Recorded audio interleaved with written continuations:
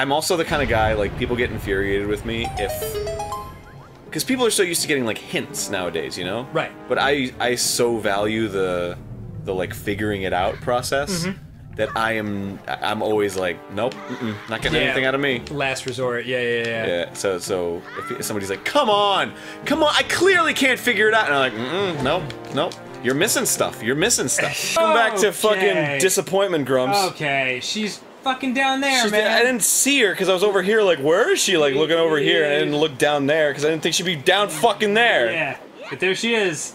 So now we can move forward. It's all my fault. Nothing to do with how Zelda games are designed or anything. You truly do not care.